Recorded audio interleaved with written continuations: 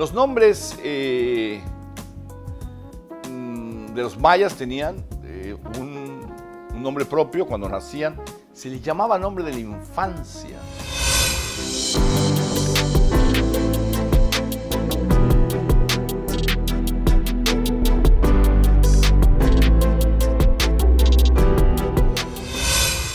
y con un apellido, desde luego, eh, paterno, o al- sí, un apellido paterno.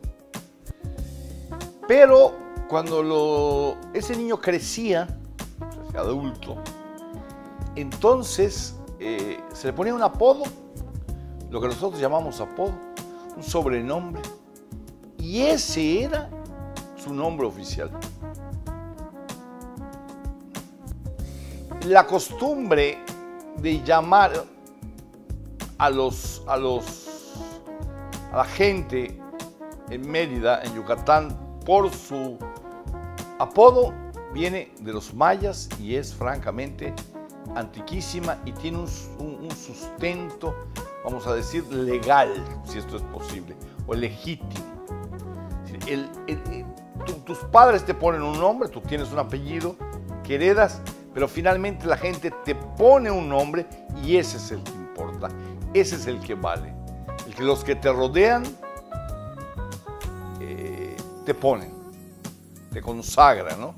Usted, puede llegar a un, pueblo en Yucatán y le van a escribir, este, eh,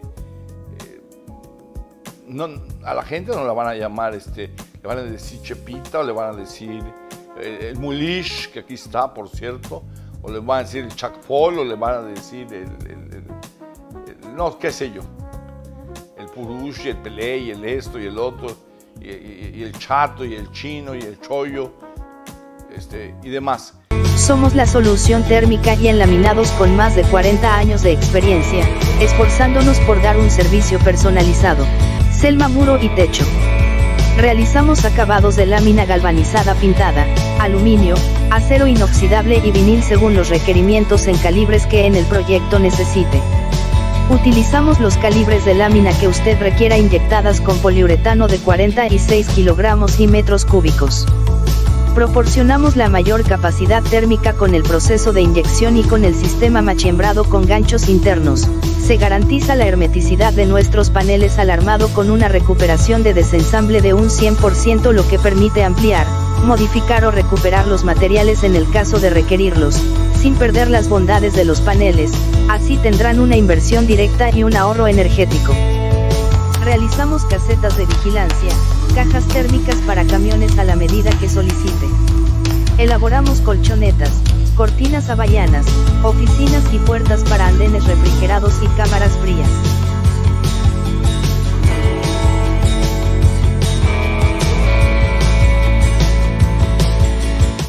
Esto eh, es un nombre popular, es el nombre más conocido. Hay gente que sabe, ¿no? O sea, eh, cuál puede ser este, el apellido, el nombre de una persona por su apodo, vaya.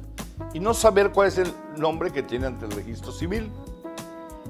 También es cierto que también en tiempos de los mayas se heredaba un poco, ¿no? Como aquí los Bonch Muñoz, ¿no?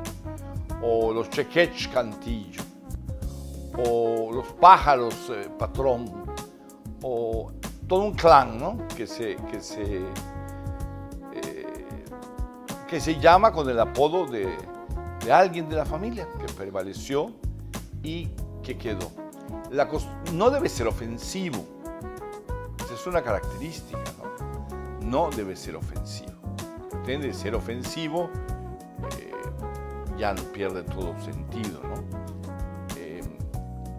Para, que, prevalezca, tiene que ser un apodo con cierta empatía por las personas. Entonces, entre nosotros en Yucatán, el nombrar con apodos puede resultar más importante que el nombre legal mismo. Si este comentario le gustó, suscríbase a este canal. Si no, diga lo que le parezca. Vea el próximo. A lo mejor ese le gusta.